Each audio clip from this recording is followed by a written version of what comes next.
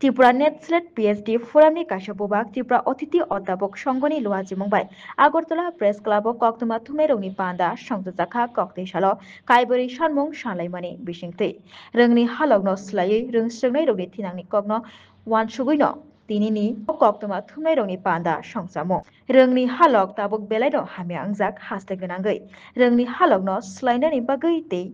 rung srung nei dong ni thinang ni kok no wan chugui borong ni thinang kaha mangna ni bagai no rung nok ro go kabang kuk no nugui mano rung frung nei dong ni bial ob bial rong no supungui rung srung nei dong ni thinang ni kok no wan chugui no kai buri shan mong shanai Tripura NET SLET PhD ফোরামনি বুবাক ত্রিপুরা অতিথি অধ্যাপক সংগনি লুয়াজি মুম্বাই অ কক্তমা থুমনাই রঙি পান্দা সংসালাইখা খেনাইনাইদি বরণি ও কাইবরে সানমুং সালেমানি বিশিংতই তামো সানা নাইখা, সিনি মাংপ্লিও আমরা Tripura NET SET PhD ফোরামের উদ্যোগে ত্রিপুরা অতিথি অধ্যাপক সংঘে আজকে এই প্রেস কনফারেন্সের আমরা আহ্বান রেখেছি।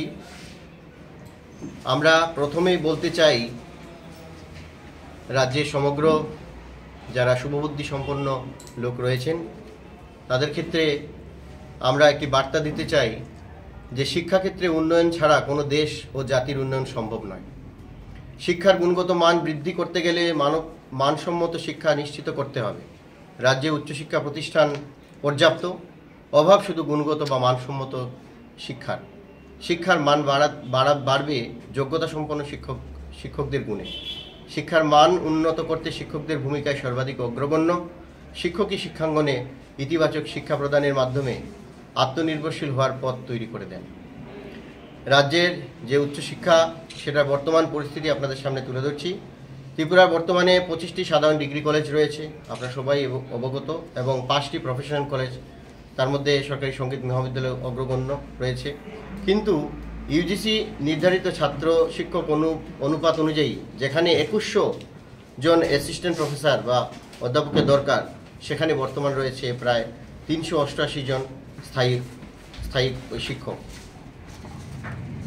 দুই হাজার এক সালে আমাদের বারোটি জেনারেল ডিগ্রি কলেজ ছিল, তখন ছয়শো একষট্টি সহকারী অধ্যাপক পদ তৈরি হয়েছিল।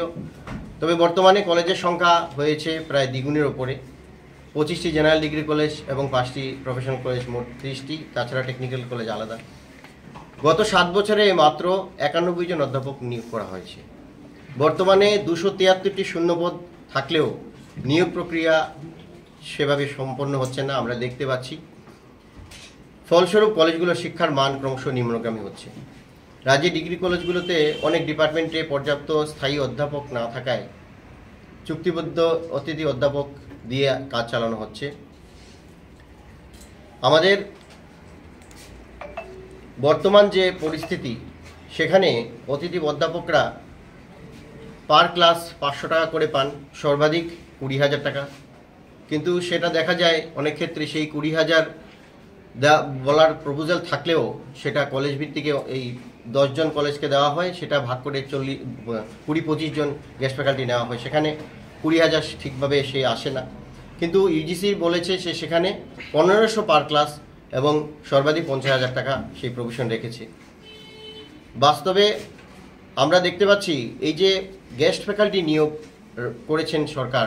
তার মধ্যে আমরা যারা কোয়ালিফাইড গেস্ট ফ্যাকাল্টি কেন কোয়ালিফাইড বলছি? কারণ এখানে শিক্ষকতা করার ক্ষেত্রে ইউজিসি স্বীকৃত যে গেস্ট ফ্যাকাল্টি নিয়োগ করার ক্ষেত্রে অ্যাসিস্ট্যান্ট প্রফেসরের সমান যোগ্যতা, অর্থাৎ নেট সেট পিএইচডি এরকম ডিগ্রিধারী আমরা প্রায় একশো জনের মতো আছি বিভিন্ন কলেজে কর্মরত অবস্থায়। আমরা মূলত বলতে চাই যে বর্তমান যে শিক্ষার ক্ষেত্রে এই যে ছাত্র শিক্ষক অনুপাত, সেটা একুশশো প্রফেসরের দরকার প্রফেসর, কিন্তু সেটা নেই। কিন্তু বর্তমানে আমরা যারা এক্সিস্টিং আছি, একশো জন, দুশো তিয়াত্তরটা পোস্ট ভ্যাকেন্ট আছে এখানে।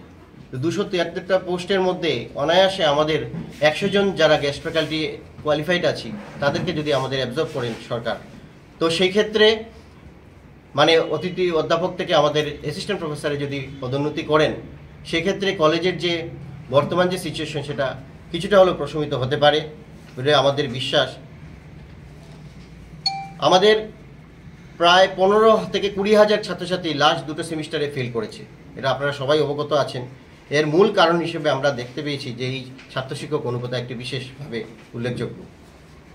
আমাদের এই দাবি যে, প্রথমত দাবি অতিথি অধ্যাপকদের স্থায়ীকরণ। যেসব অতিথি অধ্যাপক ইউজিসি নির্ধারিত নেটসেট পিএইচডি সম্পন্ন রয়েছেন, তাদের অতি অবিলম্বে নিয়মিত সহকারী অধ্যাপক হিসেবে নিয়োগ করতে হবে এবং দুই নম্বর, নতুন পদ সৃষ্টি করতে হবে। কারণ পর্যাপ্ত দুই সালে যে পোস্ট ক্রিয়েট হয়েছিল, সেখানে ছয়শো একষট্টিটা পোস্ট ক্রিয়েট করা হয়েছিল বারোটা কলেজের অনুপাতে। কিন্তু বর্তমানে পঁচিশ প্লাস ত্রিশ ডাবলের ওপর হয়ে গেছে। সেই তুলনায় নতুন পদ সৃষ্টি হয়নি। নতুন পদ সৃষ্টি না হলে চাইলেও সরকার সেটা করতে পারে না। সেটা একটা লেন্দি প্রসেস সময় লাগবে। তার জন্য এই ইমিডিয়েট ক্রাইসিস পিরিয়ডে রাজ্যের উচ্চশিক্ষামন্ত্রী তথা আমাদের যে মাননীয় মুখ্যমন্ত্রী রয়েছেন, তার, উনার কাছে আমাদের করজোরে নিবেদন, রাজ্যের এই শিক্ষা ব্যবস্থাকে স্বাভাবিক রাখতে ও, অবিলম্বে আমাদের যারা কোয়ালিফাইড গেস্ট ফ্যাকাল্টি আমরা রিসেন্টলি আমাদের এর মধ্যে অনেকেই এই জোবার হয়ে গেছেন বা হতে যাচ্ছেন, এরকম অনেকে আছেন। আমরা এই রাজ্যে এসছি, আমাদের উচ্চ ডিগ্রি নিয়ে যাতে আমরা, আমাদের ছেলে মেয়েদের আমরা সেভাবে শিক্ষাদান করতে পারি। কিন্তু আজকে আমরা নিজেরাই একটা ইনসিকিউর জবের মধ্যে দিয়ে যাচ্ছি, যেখানে এক মাস কাজ করলে আরেক মাস নিশ্চয়তা থাকে না। আমরা সেভাবে ইয়ে করতে পারি না। তো সেই ক্ষেত্রে রাজ্যের উচ্চশিক্ষার মান ছাড়া শিক্ষার হাব গড়ে তোলা অসম্ভব। এই বিষয়ে সরকারের দৃষ্টি আকর্ষণ করাই এই প্রেস কনফারেন্সের মূল উদ্দেশ্য। আশা রাখছি সরকার এবং রাজ্যের মাননীয় মুখ্যমন্ত্রী এই বিষয়ে ওনার যে দ্রুত পদক্ষেপ সেটা উনি গ্রহণ করবেন। তো এইটাই আপনাদের মাধ্যমে আমাদের মূল বার্তা দেওয়ার উদ্দেশ্য ছিল। সবাইকে নমস্কার। আচ্ছা। আপনারা শুধু আবেদন করে দেবেন না আপনারা মনে করেন আপনাদের সাক্ষী দেখুন আমরা রাজনীতি বুঝি না আমরা সরকার যে সরকারই আসুক শিক্ষার ক্ষেত্রে আমরা সম- সমানভাবে আমাদের হ্যাঁ হাতে হাত মিলিয়ে, আমরা পায়ে পা মিলিয়ে চলতে আগ্রহী এবং বিশ্বাসী। আর আপনি যেটা বলছেন যে, অনেকদিন ধরে আন্দোলন করছি, ফল পাচ্ছি না, কি করব?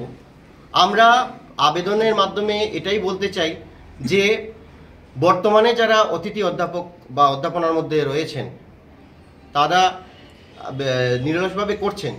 কিন্তু যে ক্রাইসিস রয়েছে, সেই ক্রাইসিস কিন্তু নেওয়া, যদি দুশো দুশো তিয়াত্তরটা পোস্ট নেওয়া হয় যদি ফিল আপ করাও হয় নতুন প্রসেসে গভর্নমেন্ট ধীরে ধীরে নেয়, তারপরেও কিন্তু ক্রাইসিস থেকে যাবে। তো আমাদের যারা আমরা এক্সিস্টিং আছি, যদি আমাদের সেটা নেওয়া হয়, তো রিসেন্টলি সেটা সাময়িকভাবে হলেও লাঘব হতে পারে। তো সেটা এখন সরকারের কাছে আমরা বিবেচনার মধ্যে রেখেছি। কারণ সরকার যদি হ্যাঁ মানে ওনাদের স্বতঃস্ফূর্তভাবে মাননীয় মুখ্যমন্ত্রী এবং রাজ্যের অন্যান্য যারা মন্ত্রী মহোদয়রা রয়েছেন বা ক্যাবিনেট রয়েছে ওনারা যদি এই দ্রুত পদক্ষেপ ইমিডিয়েটলি অ্যাকশন নেন তাহলে আমাদের বিশ্বাস যে ছাত্রছাত্রীদের ভবিষ্যৎ আরও ভালোভাবে হ্যাঁ ক্রমান্বিত হতে পারে তো এটাই আমাদের বক্তব্য। আচ্ছা পরিচয় পরিচয়টা দেন কে কে আছে?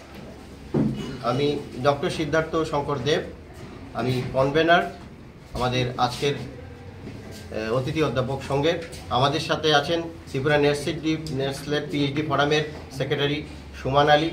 আমাদের সাথে রয়েছেন নেটসেট পিএইচডি ফোরামের ইনচার্জ প্রেসিডেন্ট, আমাদের বিশ্বজিৎ বিশ্বজিৎ বর্মন আমাদের সাথে রয়েছেন, আমাদের অতিথি অধ্যাপকের জয়েন্ট কনভেনার বিক্রমজিৎ সরকার, আমাদের রয়েছেন তুষি চাকমা, এক্সিকিউটিভ কমিটির মেম্বার। Bureau report Khompoi.